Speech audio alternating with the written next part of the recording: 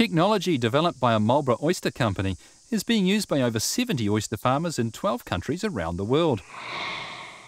Flip Farm's success aligns with MPI's Fit for a Better World roadmap of productivity growth and has been recognised internationally with seafood industry awards for innovation. I grew up on sheep farms and then when I left school I went into the dairy industry for about seven years. I left the dairy industry in the early 90s and discovered aquaculture which was like a perfect mix of farming and the sea which I really enjoyed as well.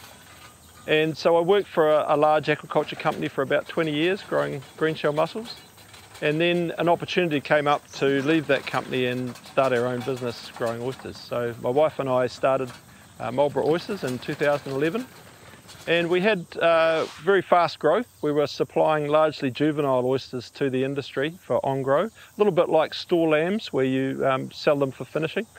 And then uh, we had a, a, number of staff, uh, around about 12 staff, and the system we were using was very labour intensive. And it also, uh, we had a lot of problems with storms and, and damage and loss of equipment. So after a particularly hard year where we'd had some very nasty storms and uh, we had quite high staff turnover, I decided we just need to come up with a, a, new way of growing oysters. So the solution we came up with was, was these baskets we call Flip Farm. And the concept is that we use a rigid basket and we mount a float on the top and then we have this tube here which we call an axle and this is the key to the system because it allows the basket to rotate individually on the line. So we can open the basket, empty the oysters out, refill it and importantly we can flip the basket over to dry it out so it holds the oysters in the basket out of the water for our drying process. Even though the system was invented by Marlborough Oysters for our own use, um, we very quickly realised that a lot of other farmers were keen to use it as well. So this is actually now our bigger company. Marlborough Oysters is still quite a considerable size oyster farming company. Uh, we farm about 37 hectares of water uh, here in the Marlborough Sounds and we produce between 3 and 4 million oysters a year. The key things to look for when you're looking for oyster quality, first of all if it's, if it's whole shell, you want to have them full of water, not, not lost their water and you can sort of hear that um, there's, there's a, a, difference in tone when they've, when they've lost their water. Um, a nice shape is, is good and, and, a deep cup that holds more uh, meat. And then um, when you actually look inside the oyster,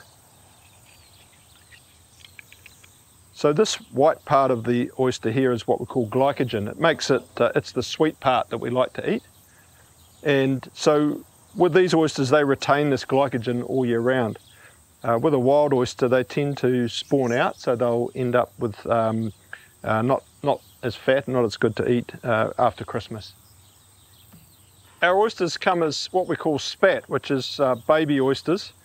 Um, these are, are, produced in a nursery in uh, Nelson, and these would be a, a few months old. They go through several stages, and as they grow, we spread them out, and then we do that through the grading process. Uh, and then they end up around about this size, which is about 80 millimetres long. Today the guys are emptying out our flip farm baskets and what we're doing here is thinning the product out a little bit. So it's grown to full size, it's, it's ready to export, but they just need finishing off a little bit. So they need hardening off and just a little bit extra condition. So some of these oysters here you'll see, these are the ones that have just been emptied out of the baskets and they still have quite a bit of the soft frill and this is not so good when we're exporting because this will break off during the journey. So we actually want them quite hard like this, so this frill's been knocked off. And this happens by putting them out at a lower density and in a rougher site, so that the wave action actually rumbles them and smooths them out. Good size, good shape too. In this process, they're coming up a, a ramp and then they're getting up to a nice working height. The guys are opening the doors and then the basket rotates and dumps the oysters out. And then the oysters are brought up on an elevator and then into bins ready to relocate. Once the baskets have come up and been emptied, then they, they go off the back of the what we call a shuttle, which is this little platform that, that the machinery is on, and then they rotate over due to gravity and they sit on the floats and the floats um, support the basket out of the water and that allows them to dry out overnight and it kills off the biofouling. Um, biofouling is one of our biggest issues um, in the marine environment. When you put anything into the environment, everything wants to grow in it. And so by drying the baskets out, it's a really efficient and cheap method of controlling that biofouling. Generally, the baskets stay out for about 24 hours, and that's enough to kill off uh, most of the biofouling, and then they're ready to reuse. Oysters are naturally an intertidal species, so they like to come out of the water and does them a lot of good things. So other than the biofouling control, it helps improve their, their shell strength and it also helps um, improve what we call the abductor muscle, which is the muscle that holds the two shells together, and that gives us better shelf life. We've taken the oysters out of the baskets, which were growing at quite high density, around about eight or nine dozen per basket, and now we want to thin them out so we can get that final touch of quality before they're ready to go to market. So here the bins of oysters are tipped out into the baskets we tip them through a three-way funnel that splits them into three different baskets at once. And so they'll go back out at around about four or five dozen. It gives them a bit more space to move in the basket and that shapes them up and also allows them to get extra meat condition. We flip our baskets out every week in the summer and we've got 48,000 baskets here now. So we can do the whole operation in one day whereas previously with our old system that would have taken a week and, and been a lot more physical. As far as further growth for Flip Farm, we've really only just started uh, tapping into the market. There's still potential for a lot of growth around the world.